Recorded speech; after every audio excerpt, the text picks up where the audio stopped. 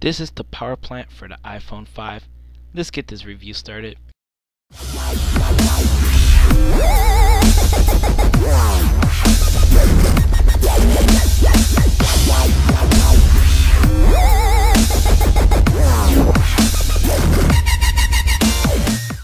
First of all, thank you TYLT for sending me this awesome case to review for you guys. Um, let me just tell you guys that this accessory is very very cool and everything you need to know is on the packaging.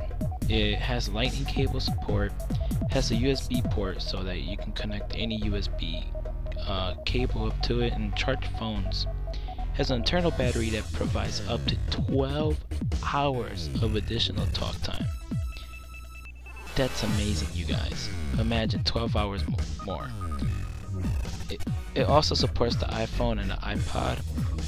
And at the back we have the features. It has a 5200 mAh battery, a lightning flex cable for rapid charging on the go, and it is very fast. I tried it out.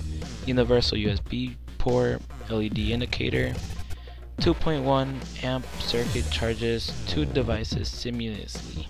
So that means it can charge two devices at the same time. Now to one of the coolest parts, which is the really unboxing of it.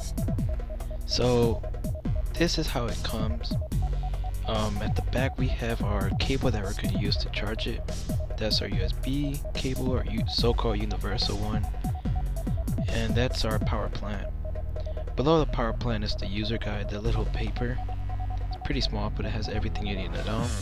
And there's the power plant. Let's get a better, more intense look at it and how it works. Alright YouTube, so now that I took a break, I know how this all works. So this is the, oops, sorry. This is the TYLT um, power plant by TYLT.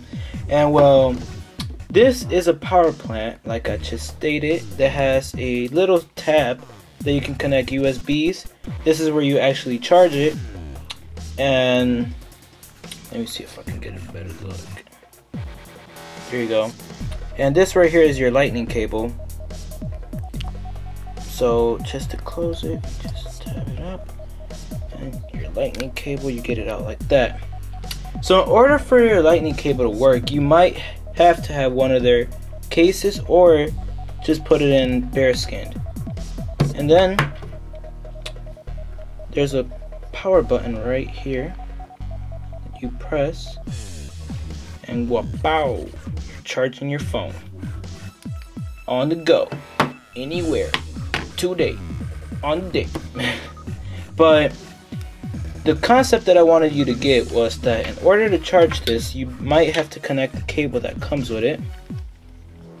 The so-called universal USB thing. So you connect it like so. Hold up, I'm just having hold up. There you go, like so.